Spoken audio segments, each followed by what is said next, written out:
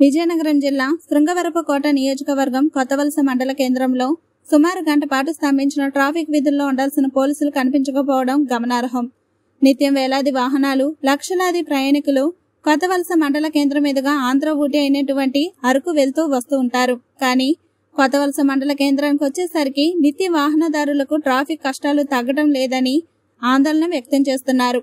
మంగళవారం సాయంత్రం సుమారు ఆరు గంటల సమయంలో శృంగవరపు కోట నుండి విశాఖ వెళ్తున్న పల్లె వెలుగు బస్సు ఓ కారును కొత్తవలస అంబేద్కర్ కోడలి వద్ద ఢీకొనడంతో సుమారు గంట పాటు కిలోమీటర్ల మేర ట్రాఫిక్ స్తంభించి ప్రయాణికులు తీవ్ర ఇబ్బంది పడ్డారు.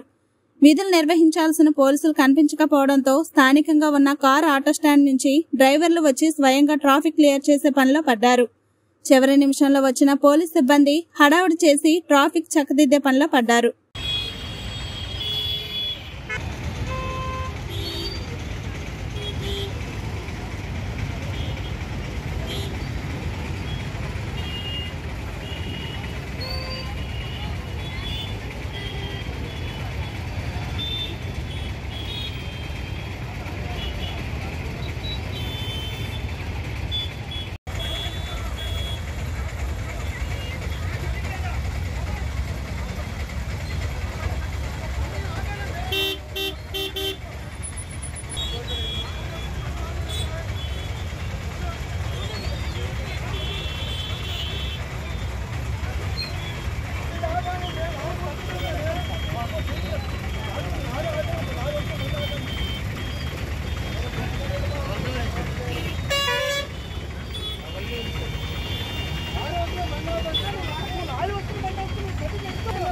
ಬಂಡಾಪ ಬಂಡಾಪ